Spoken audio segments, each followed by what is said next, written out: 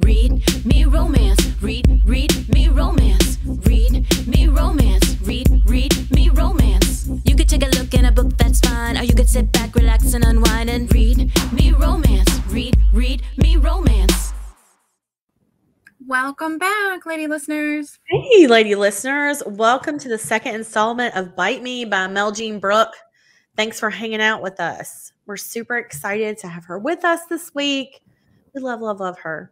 So thanks, Nick. Um, let's see. I do want to mention before we get into it too far to don't forget to enter this week's giveaway. She is giving away 10 copies of The Kraken King. And if you like this one, she wanted us to mention that she also has a book called Frozen by Meljean Brook that's in Kindle Unlimited, I forget. And that was the one that like he's a giant and he's too big to fuck her. I love the cover of the Kraken King. It's so Hmm. It's pretty. I'm upset. It's so pretty. and this has um, an audio and everything, guys. So I'll link that all up. This is a serious book. But Mhm. if you read yeah. Milla Vane, you're down for Mhm. that. Yeah, I was gonna say like Milla Vane, her A Gathering of Dragons series. The first one, I wanted to get it right. I didn't want to like mess up which one's which. Um, A Heart of Blood and Ashes is book one, and A Touch of Stone and Snow is book two. And she's got the other one, A Dance of Smoke and Steel, that I think may come out later this year. It just depends on when um I think when it comes out, but like the due date. But um those first two books, I think each maybe each time they came out, they were like my favorite book that year. Mhm. Like when they, I mean, and I I love Meljean. I love her writing. You know, I think she's an awesome person. But to separate the person from the book, like I have author friends that I love that haven't written my favorite books. You know, I just really like them as people. She wrote the best series. Like it is fantastic. If you like fantasy at all, this is the book for you. Like if you enjoyed like ACOTAR or Jennifer L. Armentrout, her like I forget what the Blood and Ash books. If you liked any of those, any sort of fantasy in that genre, A Gathering of Dragons is phenomenal. I can't recommend it enough. And also, like, even if you haven't like gotten into that, this is a great way to sort of get into because it's not a ton of books. You know, there's only two that are out right now. They can be, you know, they need to be both be read, but it's like kind of like each couple has their own book. So it's not like you have to, you know, go through it uh, the whole thing with the same people. So it's not, it doesn't feel as big, but she's got a great way of just sort of like throwing you in the world, but it doesn't feel super overwhelming. Yeah. So I, can't recommend Milla Vane enough. Like I've just absolutely loved her books, and the audios are fantastic in those. I want actually want to look it up and see who the narrator is because I, I think I even went and found the narrator's other books. Mhm. it is Nicole Poole. Okay. So I loved her so much. Like I went through and searched all of her audiobooks because they're just so good. And I think these books are super long in audio. I mean, they're probably like, oh, it says 12 hours. So yeah. Yeah, I was going to pretty- guess. they're like pretty heavy. Yeah. yeah. So if you like what you're hearing today um, from Meljean Brook, like I said, you can go check all that other stuff out. I have lady listener emails. We got a couple it. over the break that I wanted to read. So I'll try to do this as long as my throat holds out. all right, let's start with this one. Um, it just says ADD. Hey y'all, I just wanted to share. I'm on episode 117.2 and you're talking about the ADD testing you're going through. I wanted to share that I have ADD. I was tested as a kid and diagnosed then. It was all done through the school system, but that was when I lived in Texas and their public school system. So I don't remember all the testing, but it was but it was determined I have ADD and not ADHD. There is a difference. Yeah. I must say, you talking about all the things linked to ADD is something I have never heard before. Since I was a child, I think they focused more on how to help me in school as opposed to how to help me psychologically. So hearing you talk about it made me made so much sense. And when thinking about it in relation to myself, I will probably not talk to my doctor about it because I deal fine. My dad took a tough love, protective stance of I need to learn to deal since the world won't care about my problems. He's not wrong. So even though it was hard, I'm glad I didn't end up relying on meds. To each their own, though. My point of this story is I've gotten to the point in my life where I don't even think about it on a daily basis. So much, um, so much so that my husband found out like a year ago after we got married. I didn't realize I hadn't told him. He was talking about it and explaining it. So I deadpan stare at him and say, I know, I have it. He looked at me shocked as shit. And then, like a damn light bulb flipped on, he said, That actually makes a lot of sense. Thanks, hubby. Appreciate it. Y'all have a good day. Keep up the good work. It's cold as shit in Michigan right now, Sam. it's Cold as shit everywhere. I know. You know, uh, you know, it's it's amazing to me how with ADD how people manage it Yeah. because you know this is something that you and I talked about a lot where it's like is this an issue that I have that I've just learned to cope with that I've learned to do all these other things around to deal with it or is it you know is it not? Like what is it? You know? Because you all I don't know maybe it's just me but I always second guess where I'm like do I really have this or am I just lazy? Or it's like oh no maybe you've just set up your entire world to do things this way I think you know? most women do that in a lot of things, especially when it comes to mental health. Yeah, for sure. And you know, something that um my therapist uh, said that really made me, you know, give myself a little more compassion is that think of meds as a toolbox. And she was like, and inside your toolbox, you can have all kinds of options. And you don't have to use all the tools. Not every job requires every tool, but sometimes you need a tool to get the job done. Yeah. And that's okay. And so that's what I think of my medicine as. You know, with me, my brain will not function the same if I don't take it. That's just, I'm missing a component in my chemicals in my head that will not be the same if I don't take it. So that's part of it. It's like, in order for me to function at my best each day, I need tools from my toolbox. So I kind of look at it like that. So I get that, you know, not everybody is going to obviously use the same method. Like that it doesn't work like that. So there you go. I like that. Um, this is entitled Proposal Story. Okay, y'all. Way back when you said proposal stories are always welcome, so I thought you might like mine since it's one I can't really share with many. Oh, God. Keep in mind, we already owned a house together, so marriage was the next natural step. So at the end of July in 2016, we were going to a friend's wedding. Oh, 2016. Remember those days? we were so naive. I know. we were going to a friend's wedding about an hour from our house. I like gum, but seems to but I seem to be the only person who has car gum. So I searched my man's car for gum, opening the glove box, and he Oh, God. flips out because under the ring box is a mint. I, of course, see no ring box, just the mint. I was debating eating when eating, then decided against it because he was telling me it was really old and trying to close the glove box on my hand. So fast forward to the reception. My boss was watching the kids and had said that she was happy to keep them overnight. We should just enjoy ourselves. For me, this was the checkered flag waving, open bar and no kids till the next afternoon. I'm down. this is gonna be terrible. Mommy, I know this because I went through this. My man told me after the fact that he didn't want to do it at the wedding and take any spotlight then thought about the parking lot but it was so, it was gravel so that was a no-go on the hour-long drive home i lay the back seat i lay in the back seat and closed my eyes i didn't sleep just resting my eyes no worries my man made sure i couldn't fall asleep and kept poking at me and asking if i was awake so when we get home i'm drunk and stupid tired I get up to our room, stripped naked, and flop down face first on the bed. My poor man is pacing around and says, I wasn't sure when to do this, so here it goes. Still face down on my pillow and naked. And he asked me to marry him. I crack one eye open at him, say something sounding affirmative, and pass out.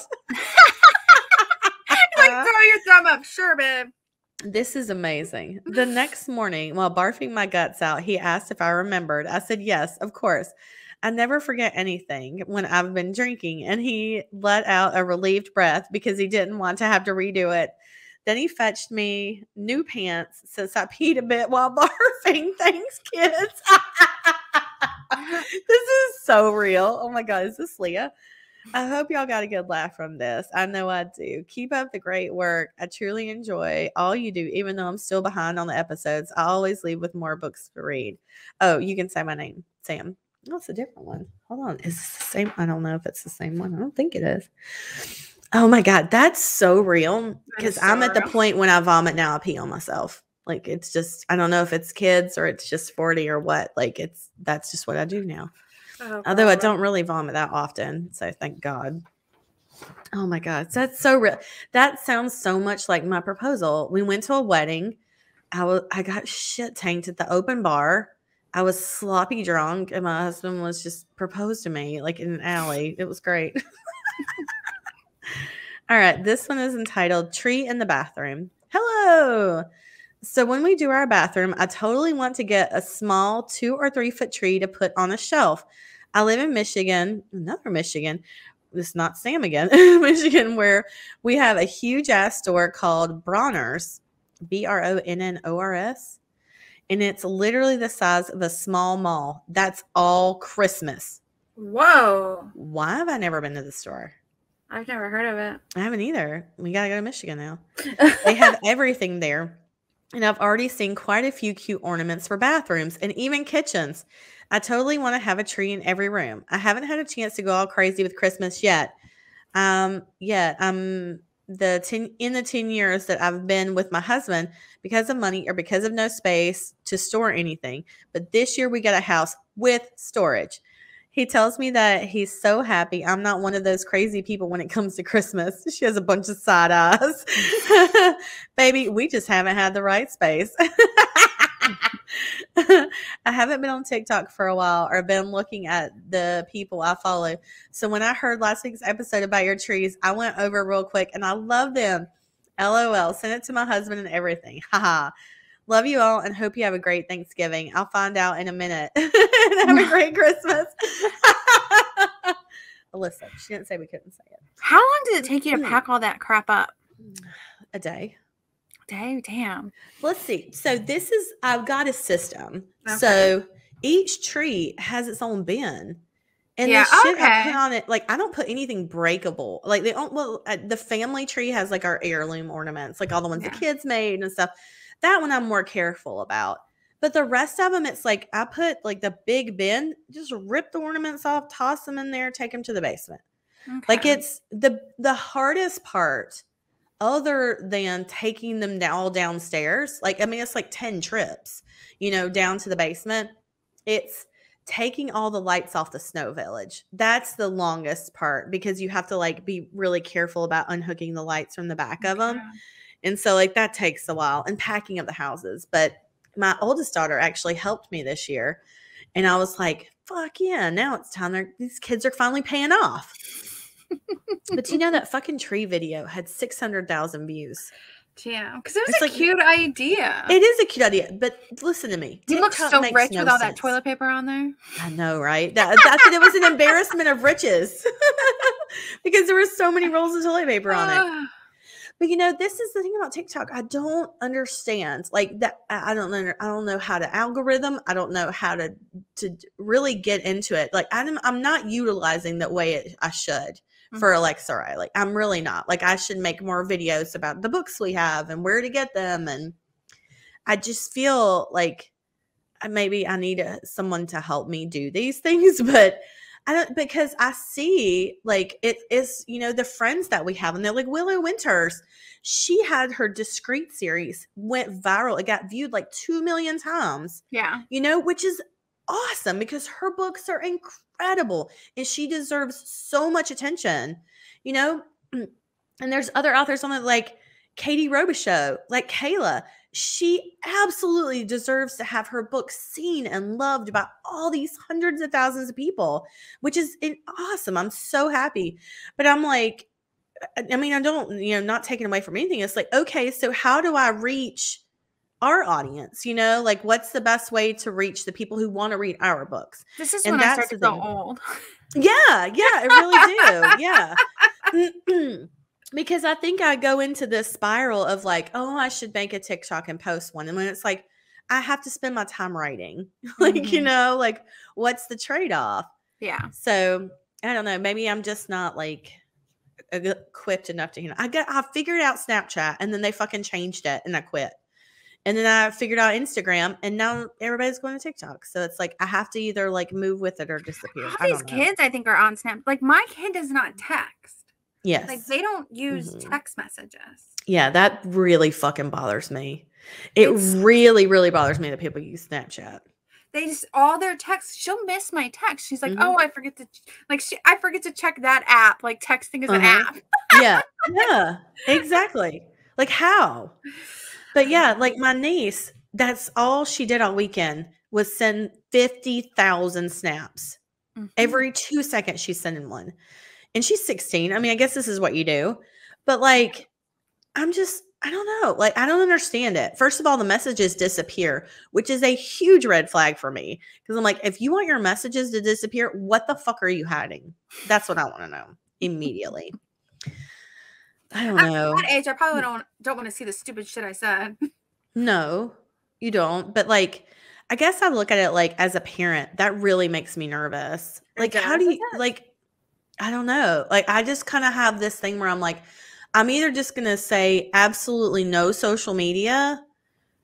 Like, I don't know. I don't know how to do it. But I feel like you're opening up Pandora's box when you allow them to have a single social any of them. Any of them, it opens up Pandora's box. But then I always it you just roll into that. Then when you shelter them too much, when they get their freedom, it's like Mhm. ah. I know that that's the thing is mm-hmm. like I don't want to prevent them from doing things and Yeah, prevent them from going places and living their life and having experiences. It worries me about the content and the negativity, the body shaming, like the the self-importance, the images, the the jealousy. Like that's the FOMO. That's what I worry about more than anything cuz that emotional fucking up Yeah. is it that takes years to undo. And it doesn't even mean anything. Like you're not No. hanging with these people in ten years. Nope. Exactly. And it's like I worry too about like what about like sending nude pictures? Like what does that do now? Like like that can scar someone forever. Because you were, you know, you trusted a boy. Yep. You know, and you send him a photo and then it's like now everybody has it. Like just that one slip. And I guess that could happen anywhere, but I don't know. I mean, you can't put them in a bubble, and I understand that. But I can also not hand them a box of dynamite. Yeah. Like I feel like that's where I'm at. And, and granted, my kids are 10 and, and 7. Maybe something by the time they're old enough to have social media, there'll be some new app they don't even know how to fucking use. I'm just So- saying my daughter's a lesbian. no. A hundred percent. I don't I have to hope that. boys. I hope both of mine come to me and like, I'm a lesbian. I'm like, thank God. I'm just so Whew. glad I don't have to deal Bullet with boys. dodged. Like, do you still want to have the birth control talk? Are we good? Okay. Mm-hmm. Okay. Oh my God. Yeah. That's what I hope, anyways. I just I hope they they find a lovely woman and they settle Because all of her friends, actually, when she was mm. younger, she had a lot of guy friends. Remember? yeah, But yeah. all of her friends are girls now. Girls are awesome. All of them except one, and he's gay. I think once you get to the point where you realize girls are your friends and not your competition, that's when Mhm. the second half of your life starts. it is. Yeah. It is.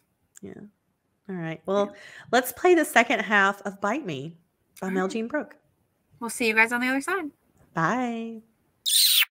Chapter 5 Emma Emma was still half asleep when she heard Nathan come home. She turned, buried her face in her pillow, and listened to Letty ask him about the investigation, the status of the Jeep, and whether he preferred rolls or biscuits with the beef stew she was making. Then she sent him from the kitchen with an instruction to wake the princess who had slept the day away. The princess thought she deserved all the sleep she had had. Emma had run more than 50 miles that morning. After she had left Nathan by the highway, she had searched through a quarter of the town trying to track down the murderer by scent. Unfortunately, she hadn't found any sign of him. Nathan didn't knock. She held her breath as he came inside the room, locked the door, and moved to the bed.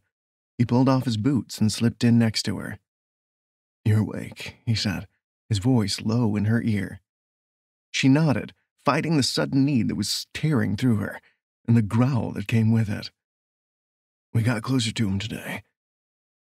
Nathan shifted slightly, snuck his arm beneath her ribs, and hugged her to his broad, warm chest. We got a fingerprint, sent it into the state lab. Hopefully, they'll come up with a match. Any guy with a missing thumb is going to have some explaining to do. Emma forced the need away, found her voice. It won't be missing for long. It'll grow back. And that story will be a lot harder to sell to a jury than the one you have for this morning. The silence that fell was heavy, painful. Nathan didn't move. She couldn't see him, had no idea what he was thinking, but at least he didn't let her go. Finally, he pulled her closer, his jaw rough with a day's growth of beard scratched lightly over her cheek. This morning, I thought I was having some kind of spiritual experience. The kind people have a few weeks before they play naked chicken with a train. So if you're saying what I think you're saying, it's a lot less worrying than thinking I've lost my mind. Emma could only nod again, her relief a shuddery ache in her chest. But Nathan didn't let her off the hook. If you're saying it, Emma, then say it. She swallowed past the tightness in her throat. It was me. This morning, the wolf you saw was me. I showed you which logging road he drove down, and I dug his thumb out of the snow. Christ.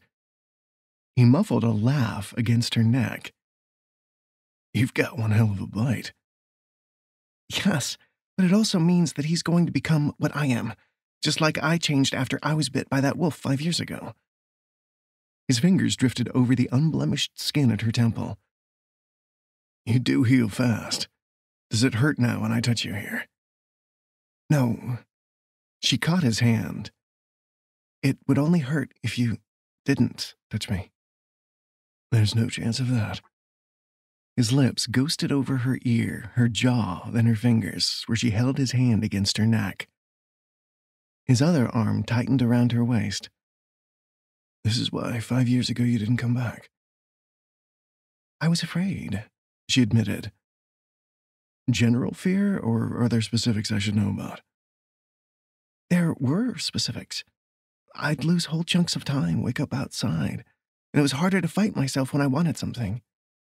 Like she wanted Nathan. And I didn't want to accidentally hurt anyone. But now, I learned to control it better. And the more I let it, the wolf, out, the more control I have when I'm human.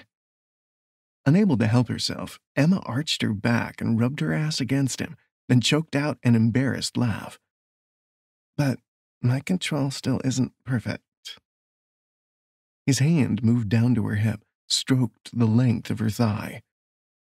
I like the idea of you losing control. From the thick evidence blatantly present, she'd already realized that. Emma let go of his hand, twisted her fingers in the sheets. She didn't have much practice at controlling arousal, but her nails didn't rip the cotton, thank God. Her hips worked back against his cock, and she panted. We can't. Nathan stilled. Now or ever? Now. I hear Aunt Letty coming up the stairs. He groaned against her neck. Emma laughed, but it was cut short when he rolled her over and fastened his lips to hers. Oh, God, he tasted so good, smelled so good, felt so good. She pushed her fingers into his hair, opened her mouth to the slick heat of his tongue. His hips pushed between her thighs, and he rocked forward once, twice, grinding the hard ridge of his arousal against her wet, needy flesh. Her breath caught on each movement, her body aching to be filled with his. But it wouldn't be now. With a growl that sounded as feral as hers, Nathan lifted himself away and pushed off the bed. He stood in his khaki uniform pants and shirt, his hair disheveled, his breathing ragged and heavy. Not even a werewolf, yet he had to fight himself as hard as she did. Warmth swept through her, curved her lips. Sheriff Studley. She turned onto her side, propped herself up on her elbow. That does have a better ring to it than Deputy Studley. A teasing nickname she had given him her first summer here when they had met and had an instant, strong connection with each other. But at 16, she had been too young for anything except a platonic relationship with a man just out of college. No wonder they'd fallen into the we're just friends rut. Both of them, afraid to change and risk the friendship they had formed that first year. And both of them longing for that change. They'd both gotten change in a big way. Nathan dragged a hand over his face, finally looking away from her. You knew to call me that last night. You knew that I was the sheriff now. Letty told you about the election. I keep up on the news here. Well, what they didn't mention was that most people voted me in on the name recognition. They saw Forrester and checked the ballot, forgetting that my dad was heading off to Arizona to retire, so they were actually getting Forrester Jr. His smile became wry. The past 18 months haven't been such a fine addition to his legacy, have they? Emma sat up. What does that mean? It means there are four women dead, and their murderers still out there. So, your dad just retired at the right time. She cocked her head, studying him. There was more than just anger and frustration in him. There was shame, too. Is this why you weren't burning up the highway to Seattle? He stared back at her. You tilted your head just like that this morning. Give me the same damn look. When she didn't answer, he shoved his hands into his pockets. All right. So, uh, I wanted to have something to offer you first. If he had just walked through her door and offered himself, that would have been enough. But she had stayed away because she had had her own demons to fight. Demons that he'd easily accepted, so she couldn't just tell him that his demons didn't matter. She slipped off the bed, rose to her toes to press a quick kiss to his mouth. So we find him. We. Yes, we. And don't argue, she said when he looked ready to do just that. I bit him. That means right now, whoever he is, he's probably fighting himself and doing what he most craves, which is apparently raping and killing, will be hard to resist. Nathan watched her, his expression dark. He'd already been waiting less time between attacks. So it'll get worse as those urges increase, and then it'll get even worse because he'll be stronger faster. And the longer he's a werewolf, the more he learns, the harder he'll be to stop. So, what do you suggest we do? Emma tapped her finger against her nose. Sniff him out before he gets too comfortable in his new skin.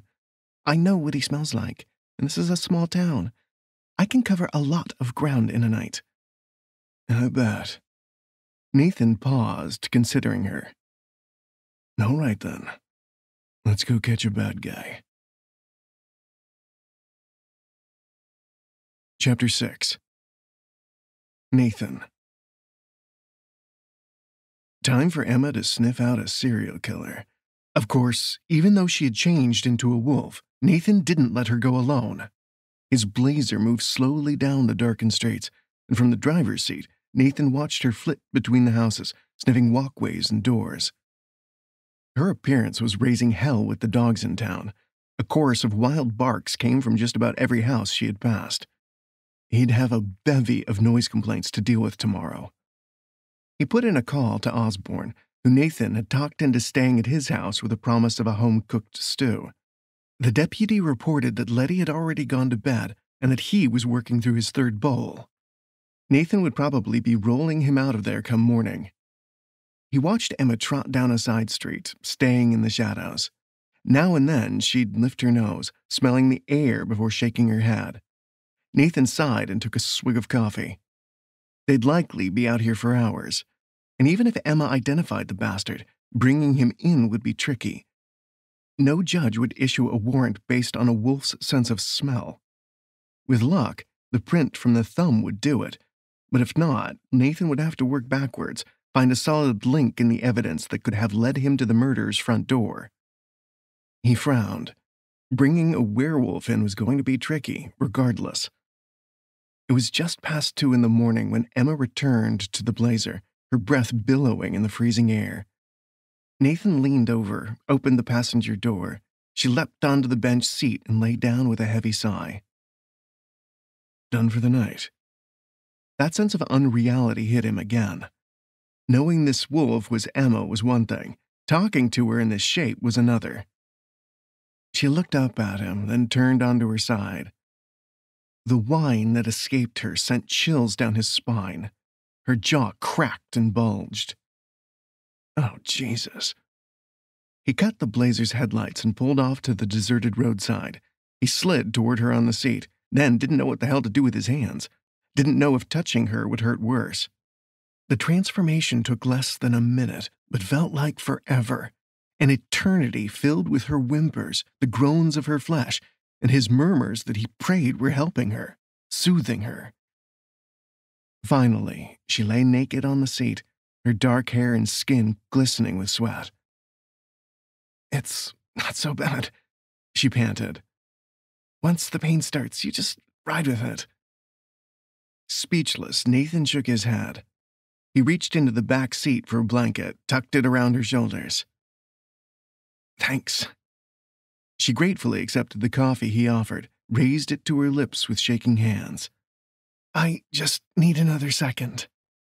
She wasn't exaggerating. By the time she had swallowed the lukewarm drink, her shivers had stopped. She stared unblinkingly out the front windshield, her fingers tapping against the mug. I get a whiff here and there, but it wasn't concentrated anywhere.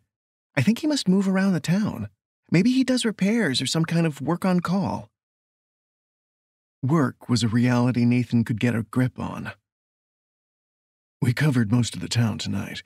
It might be he lives on one of the farms or rural properties outside of town and just comes in for whatever it is he does.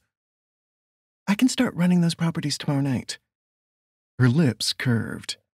I'd go during the day, but someone would probably shoot at me. It might be over by tomorrow anyway, if the state comes back with a name on that print. Emma's nod wasn't too convincing.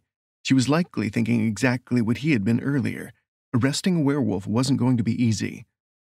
She tilted her head back and finished off the coffee, placed the mug carefully in the cup holder. Did it help to see me change, or make it worse? Nathan didn't even ask how she had known that he was having trouble reconciling his Emma with the wolf. It helps. I'm not saying I've got my head around it yet, but it helps. The transformation is grotesque. His gaze ran up her pale, perfectly human legs. Maybe for a few seconds. What you got on either end sure isn't.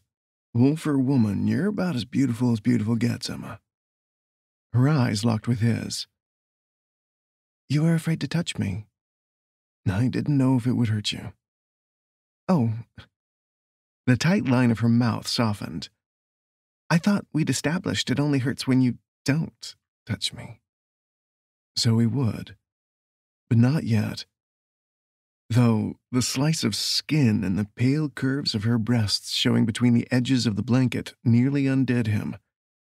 But it was suddenly real damn clear that Emma thought he'd been afraid to touch her for another reason, as if she believed he might be disgusted by her, as if she feared he might reject her. Is this why you stayed away so long? Nathan asked softly. You thought I might be afraid of you, that I might not want you. She bit her lip, looking suddenly so vulnerable that his heart constricted with the need to hold her, to tell her that he wouldn't let anything hurt her. Maybe that was part of it, she confessed. A little part of it. Not the big part. Emma shook her head, her hair sweeping forward across her cheek, hiding her expression from him. You remember the wolf that attacked me, how vicious it was.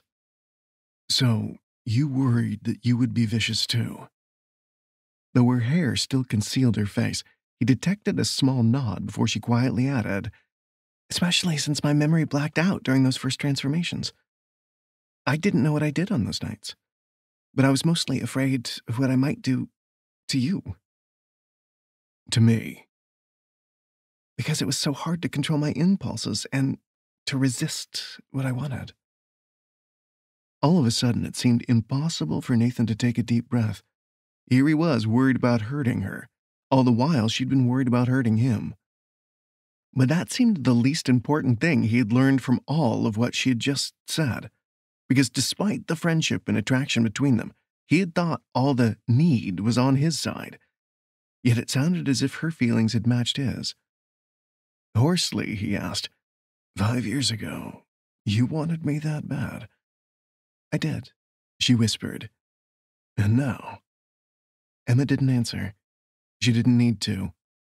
Her fingers tucked the curtain of hair away from her face, revealing eyes that glowed with amber fire, burning with need. For him. The knowledge roared through Nathan's body like a hurricane, blowing his cock into steel and raging through his blood. A growl ripped from his throat, the hungry sound of primitive response to the needy burn in Emma's eyes. He reached for her, and she lunged across the distance between them, straddling his lap. Her mouth found his, then moved to his jaw before they could sink into the kiss. The blanket dropped away from her shoulders. Her fingers worked frantically down the buttons of his shirt. The luscious softness of her tits filled his hands like a dream. Her frenzied kisses down the side of his neck came to a sudden moaning halt when he pinched the stiffened peaks. Then she about destroyed his control when her tongue flattened against the skin of his throat with a swirling lick. But as good as that felt, Nathan had better use for her mouth. He caught her gorgeous face between his hands, his fingers spearing into her hair, and brought her back up for a proper kiss. And he found sheer heaven when he slicked his tongue between her lips, so sweet and hot and slow. But below, Emma's hands were unbuttoning and unzipping and then stroking his rigid flesh with feral urgency, the pleasure of her grip choking the air from his lungs. His hips jerked up and near banged her head on the roof of the truck. His boots slid on the snow wet floor mat. An icy realization wound around his brain. It damn near killed him to tear his mouth from hers. Not like this, Emma. Emma froze with her hands still wrapped around his cock, her glowing gaze wildly searching his. Not like. how? She said it so warily, like all those doubts about whether he'd been too disgusted to touch her after watching her turn into a wolf were worming their way back into her head. He couldn't let that fear stand even for a moment. Like this, Nathan rasped in the truck, in a rush. It's sure as hell not how I ought to be fucking you. Not their first time, anyway. Other times, yeah. His imagination had put Emma through the paces in just about every location he had ever been. But this time, she ought to have roses and wine and a bed, at the very least, not the front seat of his truck.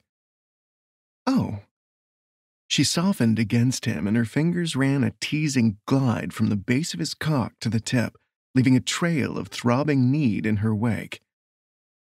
How about we go slow next time? Next time, as if she was certain there'd be one. Nathan hadn't been. Though Emma had said she was in town to stay, some part of him still expected her to go. Until now, when she so easily mentioned a next time. But it wouldn't matter either way. If she went again, this time he'd burn up that highway going after her. Because he needed her. He always had. Now he knew that Emma had needed him, too. And they'd already wasted so many damn years. I want your mouth on mine the whole time, because I haven't kissed you nearly enough yet. He finally said, his voice gruff. But I'll make sure you're all slicked up so you can take every inch. Emma only half obeyed. Her face still cradled in his big hands, she lowered her smiling mouth to his, but didn't wait for him to slick her up. Instead, she began rocking her hips, rubbing all that wet heat up and down the trunk of his erection, sliding and sliding and sliding, until his shaft was dripping with her need, and he was just about out of his mind. But two could play that game. Nathan grabbed her ass, and urged her up until he had her little cunt right where he wanted it. Then made her ride the fat head of his cock in a rough, slippery tease, all the while kissing her slow, so slow, waiting until he couldn't bear it any longer. Then he pushed inside her, not even an inch, just barely stretching her out, and she gasped a sobbing breath against his mouth. She was scalding hot and so goddamn tight. A blissed out blur crept around the edges of his vision as he began to work deeper, intending to take his time. But Emma whined low in her throat and swiveled her hips, driving herself down the full length of his cock. And that was damn near the end of him. All that slick heat, so fucking snug, clutching at him with every thrust, winding up the lightning that sparked brighter and brighter each time Emma made one of those needy, whimpering sounds, or, God help him, those sexy little growls. His hand dropped down between her thighs to help her along because fuck knew he wasn't going to last. Already he was grunting and fighting against the finish that was boiling down his spine and threatening to erupt. His thumbs stroked over her clit, each slick caress more desperate and rough, until Emma's back arched and her nails dug into his shoulders, and her inner walls cinched so goddamn tight that there was just nothing for it but letting go, letting that lightning burn through his cock and helplessly fucking, fucking, fucking up into her until there wasn't a single drop left. Chapter 7 Emma Emma hadn't moved since she had collapsed against Nathan's chest, her body limp. She didn't want to move. But she knew she needed to. With a sigh, she reluctantly slid from his lap. Nathan held on for a second before letting her go. Not a word had yet passed between them, but she sensed that he was as thunderstruck as she was. She'd known the sex would be good between them, but being with Nathan had been better than good. It had been sweet and hot, both the long, leisurely kiss and the urgent fuck. And she felt amazing. Not even trying to suppress the swelling emotion that constricted her throat, Emma reached over the back of the seat for the bag she had stuffed there before they had left his house. As if taking his cue from Emma searching for her clothes, Nathan buttoned his shirt and shoved the tails into his trousers. I'll call Osborne, let him know we're heading back to the house. His deep voice seemed thick around the edges, as if stuffed full of more emotion than his practical words conveyed. You think Letty will notice if you sleep in my room? She'll notice, Emma said, and Nathan seemed to tense until she added, But she'll get used to the idea. If Letty wasn't already used to the idea, her aunt probably believed that she and Nathan had been together all those years ago, and now they would be. Nathan seemed just as pleased by that thought as Emma was, giving her a quick grin as he lifted the phone to his ear. Emma continued to dress, listening idly as Nathan spoke with Osborne, until she realized she could hear Daisy barking faintly in the background. Emma hurriedly shoved her jeans back down to her ankles. Oh my god, Nathan, get out to your place as fast as you can. Tell Osborne to get into Letty's room and to take his gun. Nathan didn't ask why. He simply swung the Blazer onto the road and repeated her instructions to Osborne. As she removed her clothes again, she explained. Daisy was barking. She doesn't do that. She never does that. Except the night after I was bitten. She barked like crazy the first night. Nathan nodded, his lips tight. Despite the two inches of snow that had fallen, a fresh set of tire tracks led down the lane that her aunt shared with the Forresters. Oh, shit, Emma whispered, then turned to Nathan. His gaze was fixed on the road. I'm going to change. I'm faster that way, quieter. He's probably still in human shape. And he might have a gun, Nathan said grimly. So don't think you're going anywhere yet. Emma, damn it! She heard his curse, the slam of his fist against the steering wheel, all underscored by the agonizing crack of her bones. Then there was nothing to do but ride out the pain. Chapter 8 Nathan Letty's place rose up out of the darkness like a gingerbread house frosted with white icing. Nathan glanced over at Emma, who was sitting up with her ears prickled forward. Okay, I agree. You're safer in that form. Harder to argue with, too. Emma turned her head and grinned at him before facing forward again. There's his truck, he said, unsure if Emma's wolf eyesight had picked out the extended cab pickup parked just off the lane. He drove past the house. But did he walk back to Letty's or did he head out on foot to my place? Emma gave an uncertain whine. Nathan pulled up behind the truck and drew his weapon. Stay behind me. He approached the truck slowly and noted the magnetic signs stuck to the door Fuller's Plumbing. He pictured its owner, Mark Fuller, tall, sandy haired, easy-going, and shook his head. Jesus Christ. He had played ball with Fuller in high school. In all the years since, Nathan had never heard a whisper of trouble connected to Fuller. In a small town like Pine Bluffs, word got around. If Fuller had even looked at a woman sideways, if anyone had ever called him a creep, Nathan probably would have heard of it. But Fuller had managed to stay squeaky clean. Footprints led away from the pickup, heading further off the road into the pine trees. Do you hear anything from inside the cab? Emma shook her head. Nathan checked the truck, found it empty. A bandage, crusted with dry blood, lay crumpled on the passenger seat. What had Fuller thought when the bleeding stopped so quickly and his thumb had begun to heal over? Did he understand what was happening to him? This guy's the right smell. In answer, Emma put her nose to the ground, began following the footprints. Jogging beside her, Nathan realized the prints led to his place. Fuller must have parked here rather than risk anyone at Nathan's house seeing the headlights or hearing the engine. Nathan dialed Osborne's cell and was putting his phone to his ear when gunshots cracked through the night. He broke into a run. Emma streaked ahead. He didn't slow to catch his breath when Osborne answered the phone. Who fired?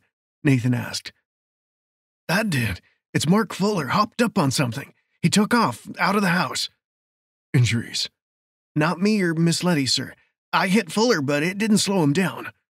Did he have a weapon? If he did, he didn't use it. All right.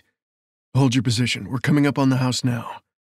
Or Nathan was coming up on the house. Emma wasn't with him anymore. Her tracks followed the footprints across the wide, moonlit clearing that separated his house from the woods, but he didn't see her or Fuller. Where was she? Nathan's breath hissed through his teeth in worry and frustration, but calling out her name wouldn't help either of them right now. Better to settle down and try to get a bead on Fuller. Listening for a disturbance in the snow muffled quiet, Nathan stopped at the clearing's edge, using the wide trunk and low branches of a pine for cover. The shadows around the house were deep. Anything could be hiding in that darkness. Movement near the back porch caught his eye. It was Fuller, the man was hunched over and using an eerie, loping gait that sent prickles of dread down Nathan's spine. That gait didn't look human or wolf, but simply inhuman. Moonlight reflected in Fuller's eyes as he turned his head. He stopped, straightened, and stared directly at Nathan. Nathan held his breath, but his hopes that Fuller had just been searching the tree line and couldn't see him were dashed when he hunched over again and began loping toward him. An eager, hungry growl carried across the clearing. Nathan stepped out of the trees, aimed his weapon. Drop to the ground, Fuller. Get down or I will fire. The werewolf kept running, grinning, panting. Nathan squeezed the trigger. Blood sprayed the snow behind Fuller's left leg. Nathan hadn't missed, but the fucker kept on coming. Cold sweat trickled down the back of his neck, Nathan fired again, a torso shot that twisted Fuller to the side briefly before the bastard righted himself. If anything, he seemed to run faster. Nathan had time for one more shot. The chest was a bigger target than the head. The head was a kill shot. His next bullet ripped through Fuller's scalp and laid white bone open to the moonlight. He'd hit skull but not brain, and the bastard didn't miss a step.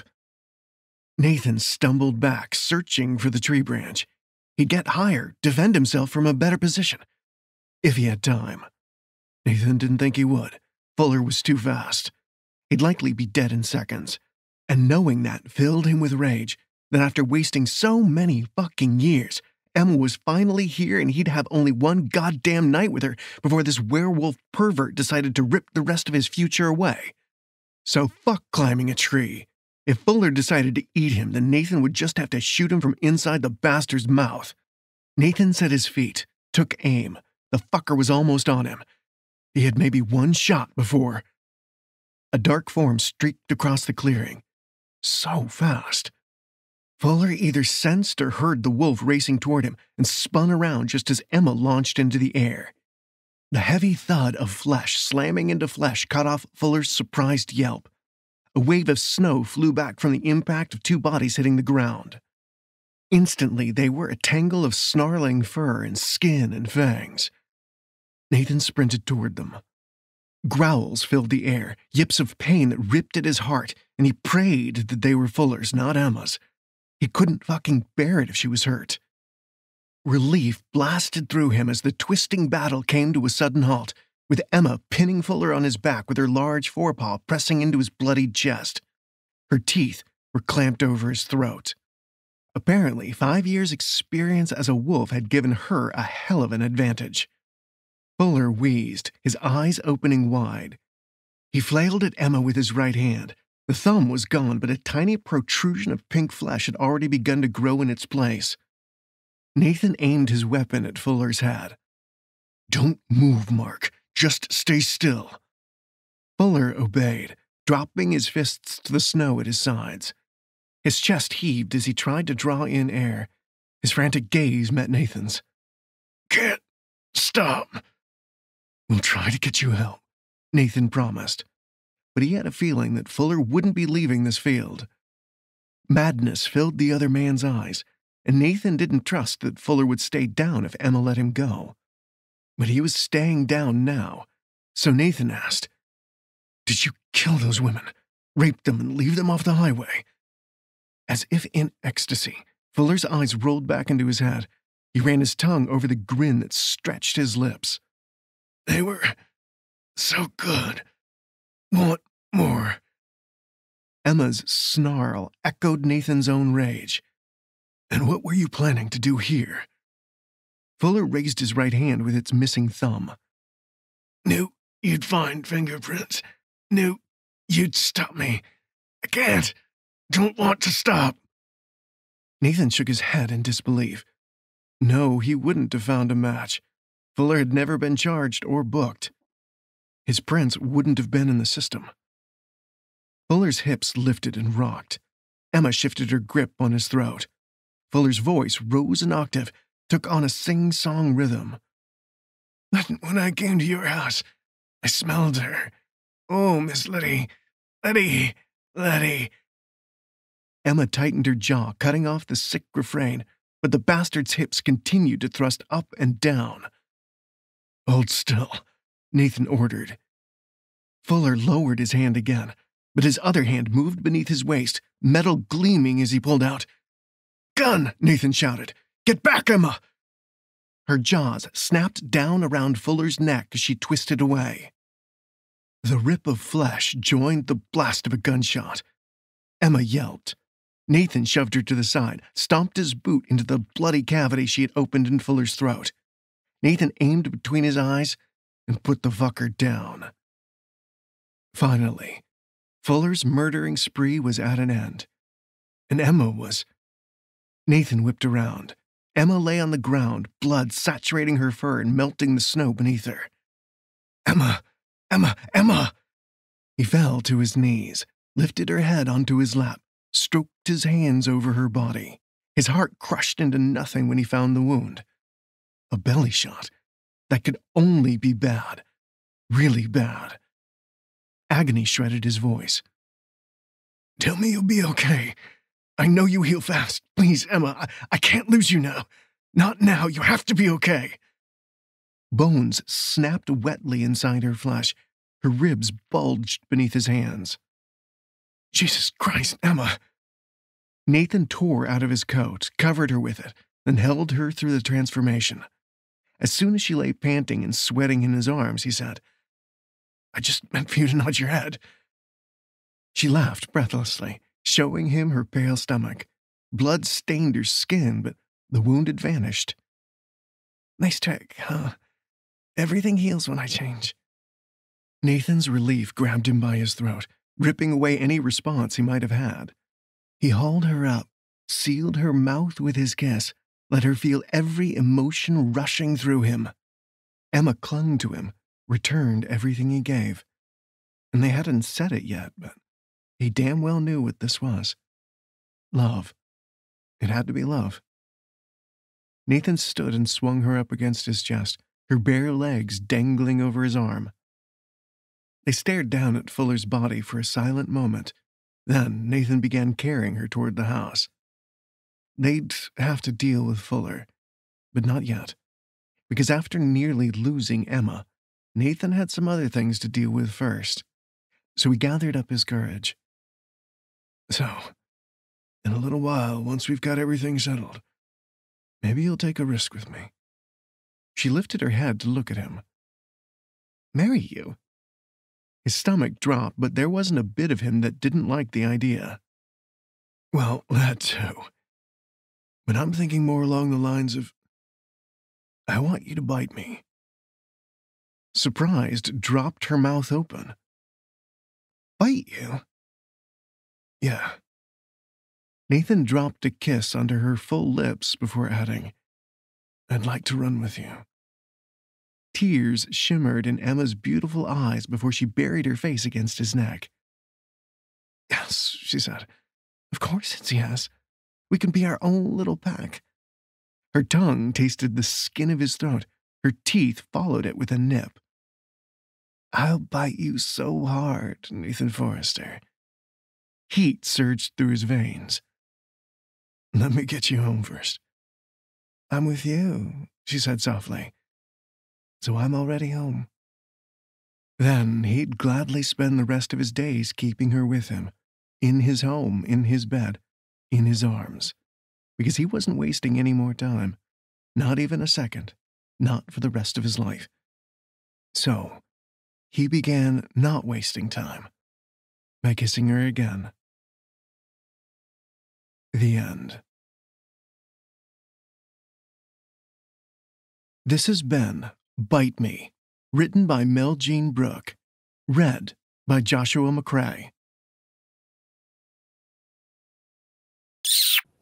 Welcome back. Hey, don't forget to enter this week's giveaway. It's the 10 signed paperbacks of The Kraken King. And also, don't forget to go get Frozen on Kindle Unlimited by Meljean Brook. And if you want something longer that's more like fantasy and fun, but still hot as fuck, go check out Milla Vane in The Gathering of Dragons. I'll make sure all that shit is linked in the show notes for you guys. And you can check out the new releases as well. Hmm. Is anything else? I think that's it. All Wait, who I do we have? Hold on. Who do we have next week? Before I forget. We ha- oh, we have Sarah Reddy. I'm so excited. This is the one Eagle recommended us. She was mm. so sweet. She's been so super nice and like excited to be on the podcast with us. So I'm really happy to have her. It's gonna be Alright. fun. Then I guess tell them what to do. Fuck your day up. Make today your bitch. Don't be a dick. Bye, guys. Bye. Read me romance. Read, read me romance read me romance. Read, read me romance. You could take a look in a book, that's fine. Or you could sit back, relax, and unwind and read me romance. Read, read me romance.